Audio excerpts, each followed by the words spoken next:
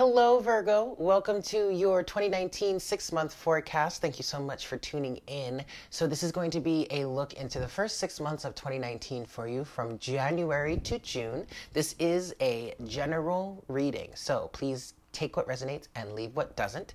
If you would like a look into your own personal six month ahead, uh, please go ahead and email me. I do have these readings available for personal consumption. Yes, I can do six months or I could do three months if you like. I could do anything, well, pretty much anything. So, anyway, um, I am going to be using for this reading the uh, major arcana of the Dreams of Gaia Tarot here. Now, this this deck is fairly new to me, even though I've had it for some time. I haven't really worked with it too much, but they were calling to be a part of this reading. So I am going to be using them, and I'm going to be uh, reading a little bit of the book uh, in certain cir- circumstances just to get a deeper understanding of certain cards. And then also, I'm going to be uh, pulling some clarification for each month. So I'm going to take one card for each month for uh, January through June from the Dreams of Gaia Tarot. And then I'm going to be clarifying with the Tarot from the Crystal Visions Tarot deck. Yeah? So, Virgo, without further ado, let's get to it.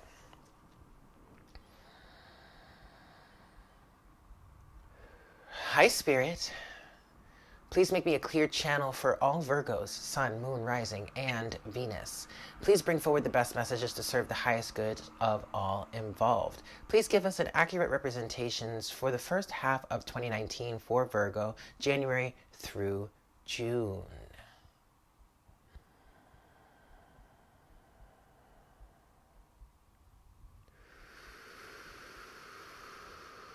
Thank you so much, Spirit. Okay, Virgo, let's see what we've got for you. So, for January, ooh, here we go. Knowledge, all right. February, and already I'm seeing that for January, this is going to be a month of gaining knowledge, yes, but I really feel like it's compartmentalizing it, putting that knowledge that you've acquired over 2018, putting it into place putting it to like like fitting it into uh, uh, into context potentially for you in January. For February, let's see what we have here. Ooh, ooh, abundance. Okay. March. That's a beautiful card, abundance. March. The crone. All right. April the youth. Very interesting. Cancer, Leo, and now you, Virgo, are getting this card. And I believe, well, I know Leo got it in this position for April, but I think Cancer got it for April as well. That's very interesting. May for you, Virgo. The Sage and June. Very interesting. June is union. Interesting, Virgo. My, my, my. Okay.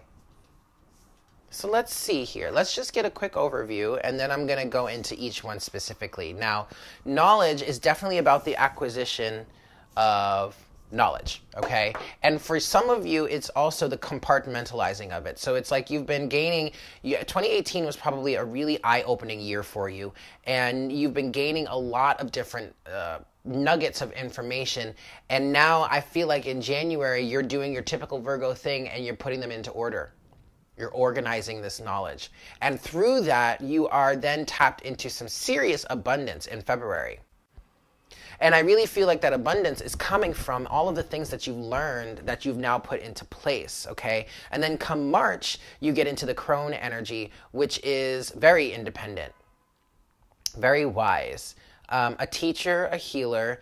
Uh, this is a feminine energy that potentially chooses not to have children. Um, she is a very much uh,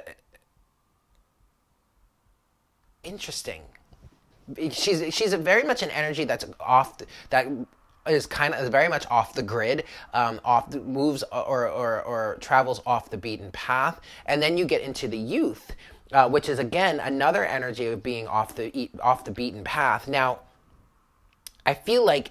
Um, with Crone here, this is an awakening of the divine feminine within.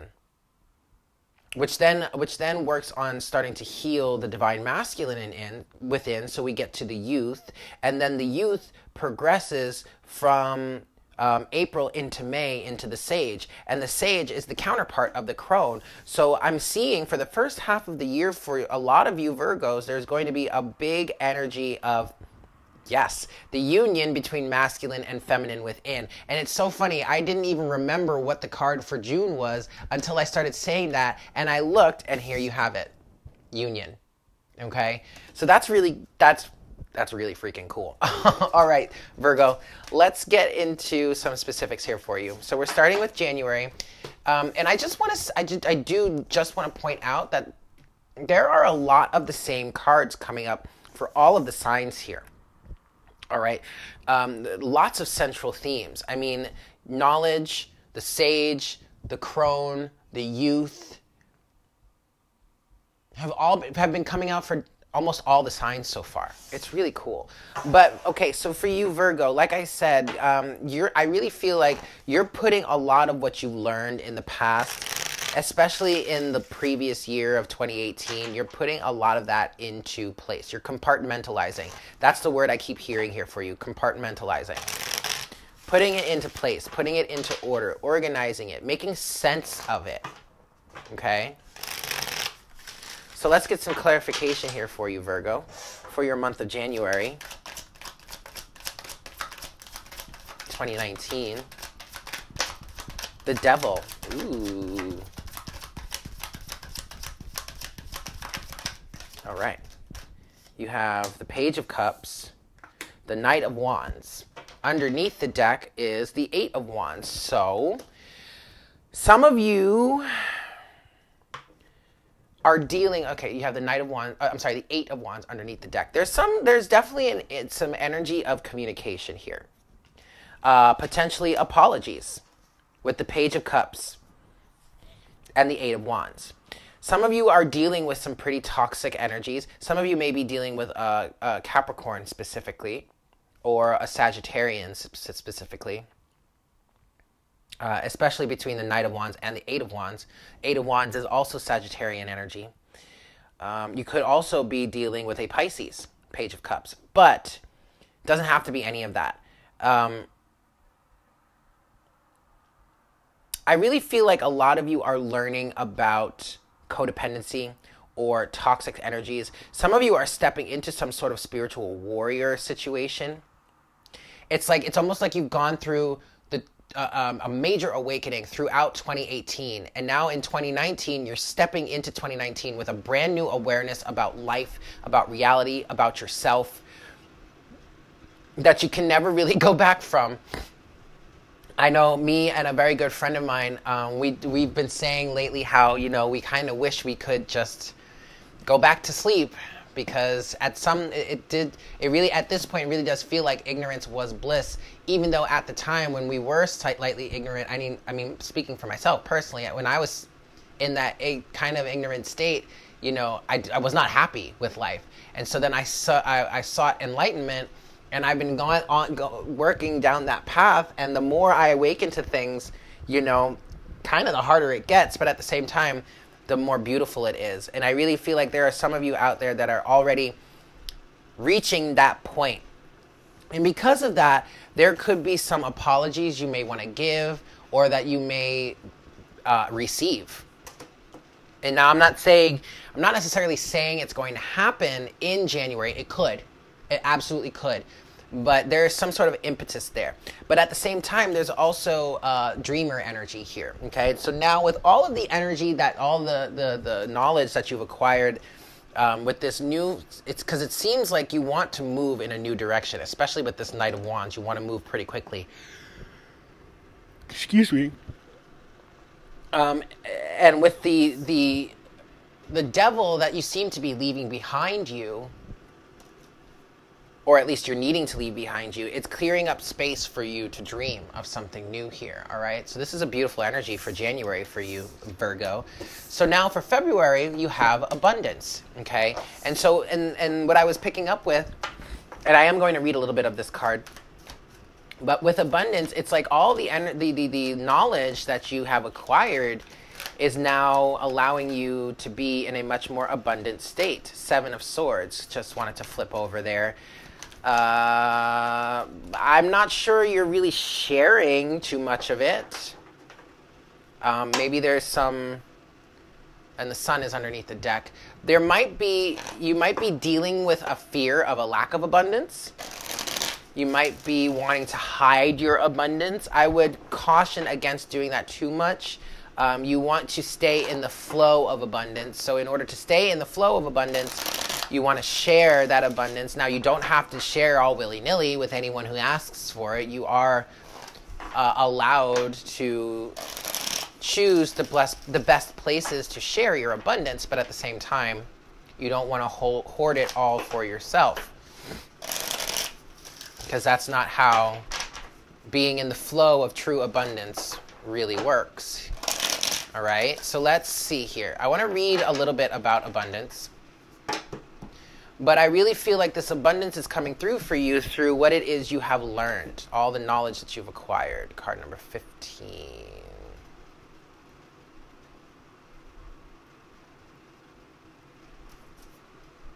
Oops.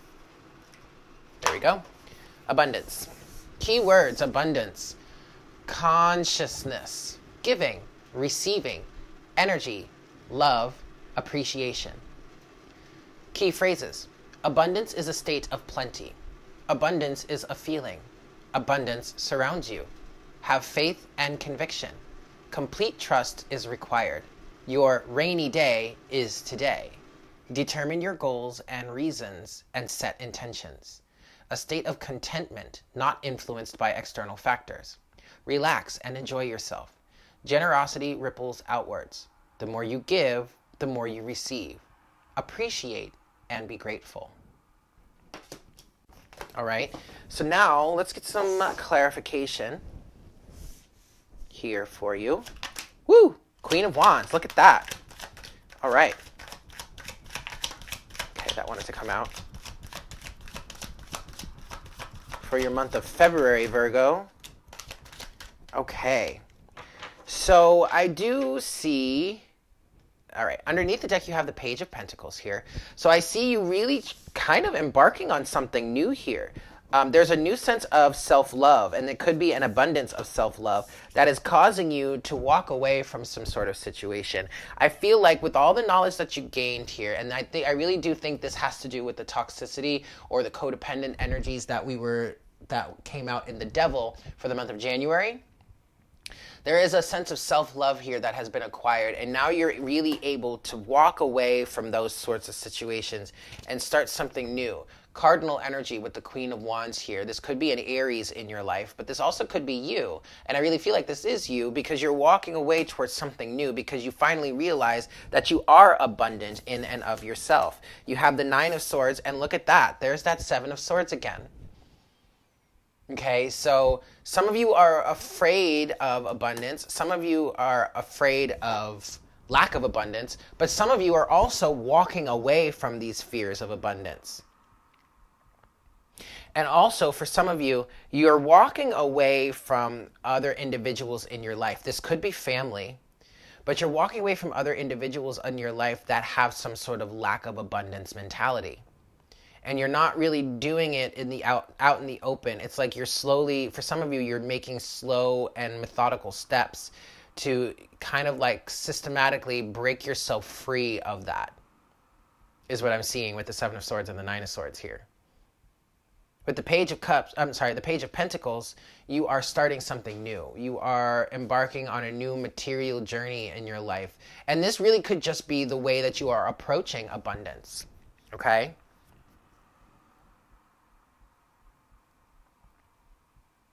And the Queen of Wands energy is really an energy that I feel you accepting in and of yourself. Um, and the Queen of Wands is very much connected to the, her own abundance and the abundance, the abundance of the universe. It, she's very, she's a very magnetic character. Okay, she just allows it to come to her, and that's what you're doing in the month of February. That's pretty fantastic. Pretty fantastic, Virgo. So now let's get into the month of March. you have the crone. And so with this newfound abundance here, I really feel like, haha, two of cups. All right, that's the first card that flew out here. And I this is kind of like what I was saying here with this abundance here that ooh, wow, 6 of wands. Uh, you are coming into tune with yourself. And as you get into March, the crone, I really feel like, is the first step towards a union between masculine and feminine within, which we see here because then after the crone, you have the youth, then the sage, which is the counterpart to the crone, and then finally union for the month of June. And so here you're starting, you're really starting a process of inner union. Many of you are. It's going to lead you to some really fantastic victory. Now, the crone is one step in, oh wow, three of cups. One step in um, moving towards um, authenticity, independence. This is someone who does things. She's very wise. Uh, she's a feminine figure. She does things not because she has to, but because it's the right thing to do. Page of Cups. Um, this is someone that chooses not to have children. But also, this is the rise of the divine feminine. All right. And I'm really seeing uh, the divine feminine energies rising up within you and helping you transform, helping you find this union. Now, this union could also lead to a union with someone else. Okay. Um, but I'm really seeing that there's a lot of internal work that you're doing over the first six months of this year. And the Three of Cups, again, is another union card, but this is mind, body, and spirit here. And as the divine feminine rises, it gives way for the divine fem- or for the mind, body, and the spirit to come together within you. I do want to read a little bit of the crone here.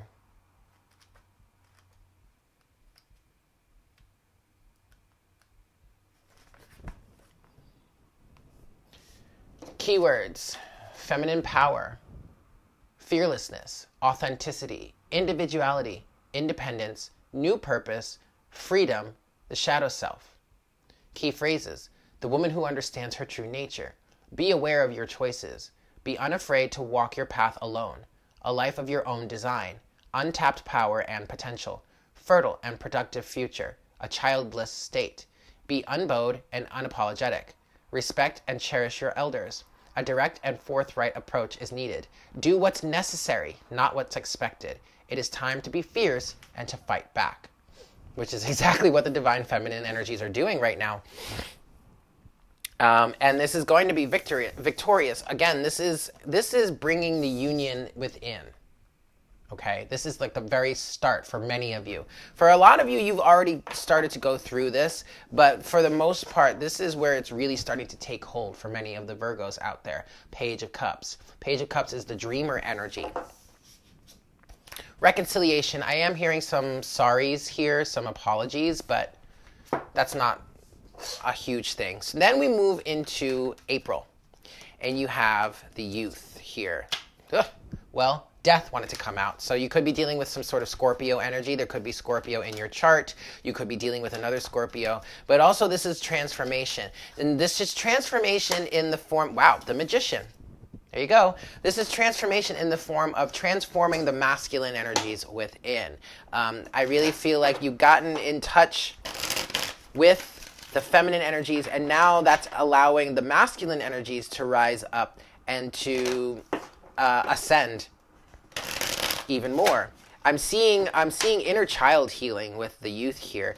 The youth is a very independent uh, uh, figure. Um, he is another one of those energies that doesn't really do something because it's expected of him or because he has to. He does it because it serves his purposes. It uh, it feeds his desires. The youth can be pretty selfish, but he also can be very committed to the cause if it resonates with him, if it helps him get where he's trying to go, if it helps serves his own purposes, um, he would be a very, very good ally to have. Very faithful, uh, very uh, committed, um, strong willed, you know, willing to do the work. So, from the rise of the divine feminine, then we have the rise of the divine masculine. But this is the rise of the divine masculine in the sense of um, in alignment, not twisted masculinity. Let's get some clarification here for this one for the youth. for Virgo, um, April of 2019, please, Spirit.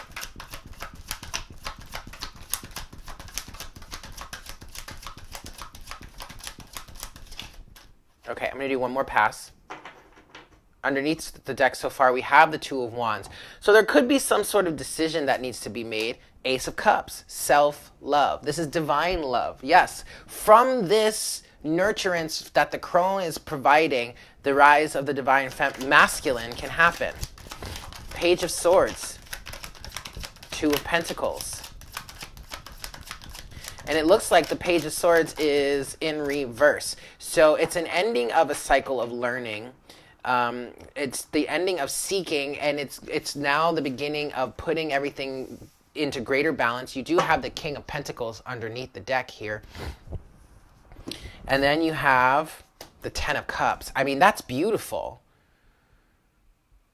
There is a sense of ultimate fulfillment that's going to come through for you as you balance these energies out, okay? As you bring them into greater balance throughout the month of April. And it's going and and it's going to help you really mature really mature. And I see this happening pretty quickly. I mean, you're going from the youth, which is like the young man, to the grown man in the King of Pentacles. Well manifested, solid, stable, secure, um, grounded, either financially secure or, or well on their way to being financially secure. And all of this comes from this divine love here. Okay? I mean, that's quite fantastic with the Ace of Cups. And then the Ten of Cups, you're leading yourself towards ultimate fulfillment, maybe even a family life. And like I said, the youth is a very committed figure, okay? And the King of Pentacles definitely talks about commitment in some cases, right? So now we move on to May, and you have the Sage. So the sage is the energy of a very wise teacher, uh, a communicator, someone that that speaks truth, that shares their story. Again, walks. Oops, hold on, wait. We have a card that flipped over. Walks his own path, and is very happy to have people join them. But it's not like he's join him. But it's not like there's he's seeking people to join him. The Empress flipped over. Okay, so abundance and fertility here.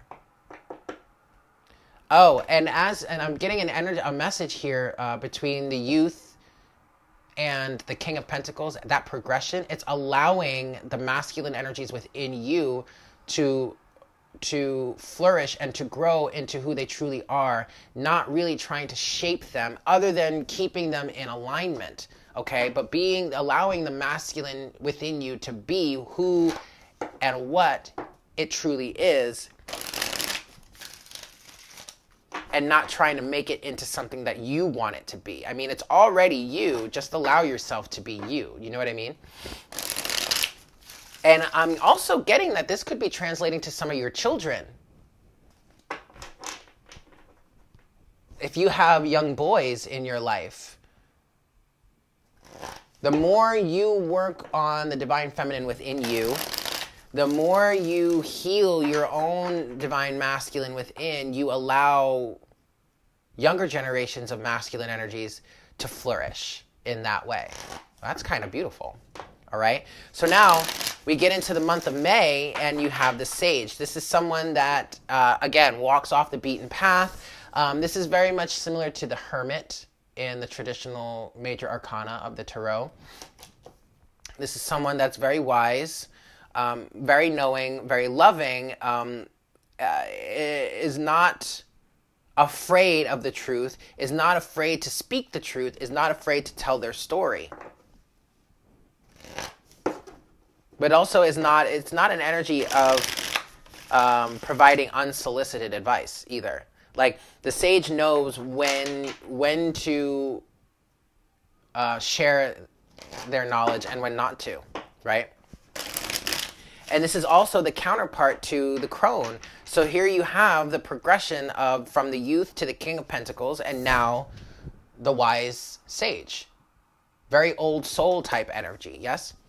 So I'm going to shuffle one more time and then we'll get some clarification for you. Whoops. Let's try that again.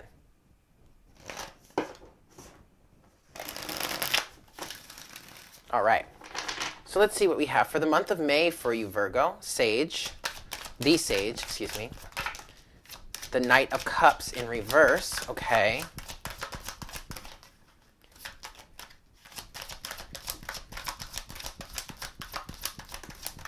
The Knight of Swords, upright. Very interesting.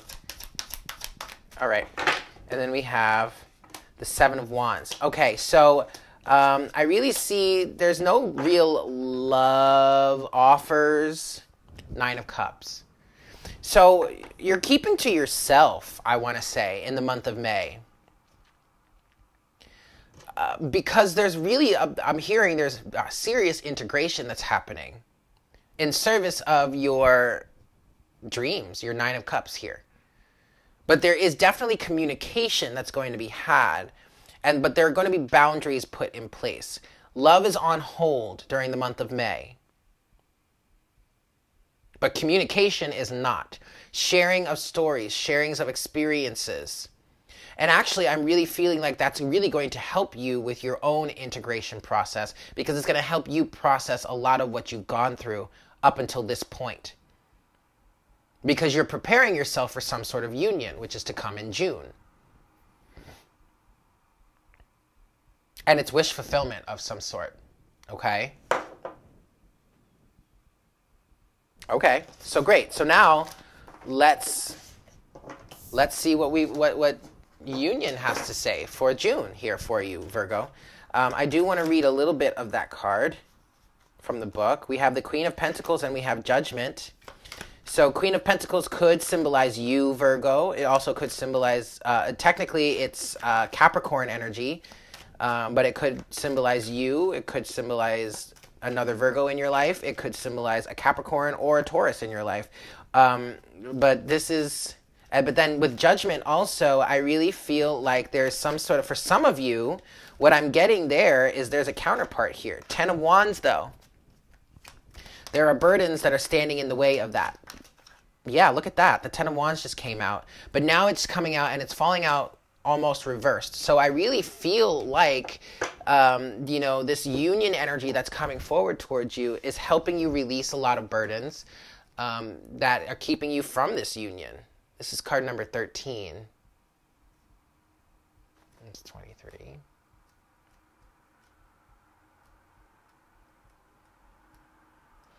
So for some of you, you're needing to release burdens, but it's the act of bringing yourself into union that is helping you release these burdens by default, to be quite honest. So instead of really having to do anything extra, all you need to do is to continue to work on this union within.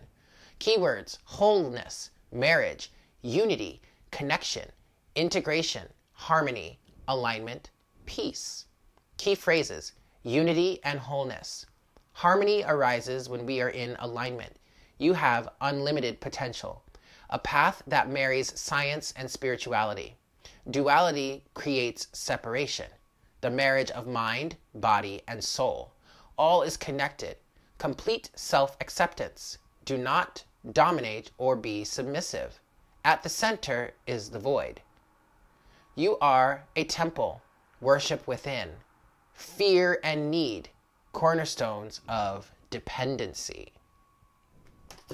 So there are definite marriage vibes here coming out for you. Some of you, this could be a physical marriage with a counterpart. Um, I did see the Queen of Pentacles come out, um, and we were talking about the King of Pentacles before for the month of April.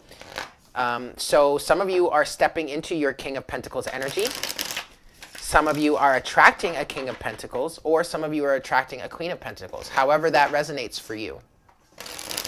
And so, because of that, there could be a union. Now, you could there could be a proposal in June. I apologize if I'm ruining any plans, but there could be a proposal in June. There could be um, someone you could meet a counterpart of which who could turn into you know, a uh, a marriage partner later on down the road. I feel like it's something. It looked like something was flipped over. Give me a second here, guys. Um, but also, this is definitely the union union within. Okay, no, we're good. This is definitely union within, uh, mind, body, and spirit, masculine and feminine energies within. Like this is a major thing for a lot of you. in the first half of 2019. This is beautiful. All right, one more shuffle. And let's get some clarification here for you, Virgo, for the month of June 2019. Seven of Pentacles.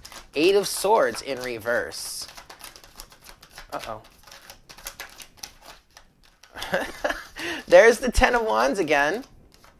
We also have Judgment. Yes. Resurrection, rebirth. Underneath the deck, wow. Underneath the deck is the Hierophant. So there really could be some sort of progression of commitment. There could be a marriage proposal in the month of June for you. Uh, we have the Eight of Swords in reverse. We have the Seven of Pentacles, the Ten of Wands, Judgment, and the Six of Swords in reverse. Okay. So some of you, uh, again, I'm hearing off the beaten path. Some of you have learned a serious, serious lesson by by this time, by June. Okay, and you're not moving in the same direction that you were in the past between the Seven of Pentacles and the Six of Swords. The Six of Swords is in reverse.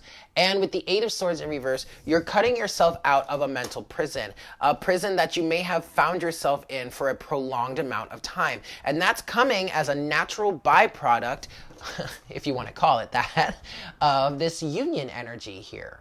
Okay? And so with the Ten of Wands, which just keeps coming out for this period of time for you, there is a release. There is redemption here. There is a release of burdens, of maybe responsibilities that no longer resonate with you. But with judgment, there is a resurrection here, a rebirth. And with the Hierophant, you're either listening to your higher self more, as something that I just heard, or you are coming into union with yourself. Or you're coming into union with someone else, someone external from you, maybe some sort of counterpart. But that's quite beautiful. Virgo. So, there you have it. Thank you so much for tuning in. I hope this was helpful for you.